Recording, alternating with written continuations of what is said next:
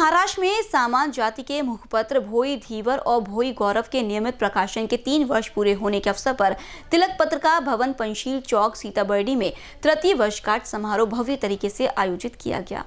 चंद्रलाल मेश्राम की अध्यक्षता में यवतमाल के उप कलेक्टर डॉक्टर स्नेहल कनीचे, जाने माने लेखक और कवि प्रोफेसर ज्ञानेश्वर वाकुड़कर, जिला सूचना अधिकारी Nagpur Praveen Take, Priyadarshini college of engineering Nagpur की प्राचार्य डॉक्टर श्रीकृष्ण ढाले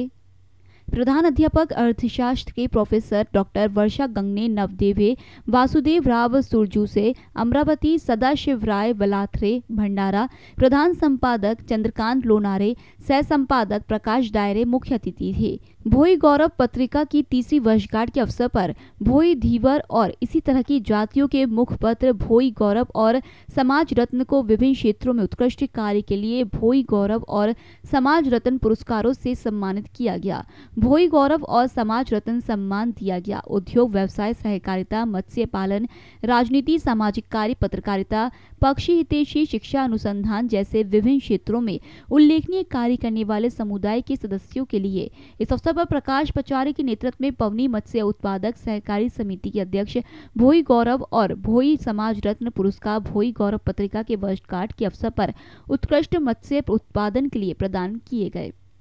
पवनी से बीसीएन न्यूज़ के लिए राजेश यल सट्टीवार की रिपोर्ट।